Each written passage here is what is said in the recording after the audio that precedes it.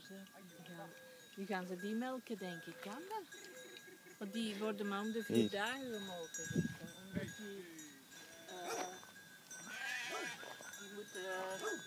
eh, binnenkort worden die bij de mannetjes gezet en dan worden de stieren. Ja.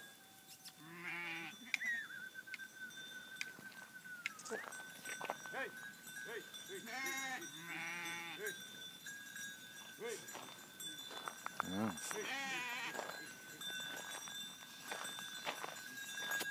je dat?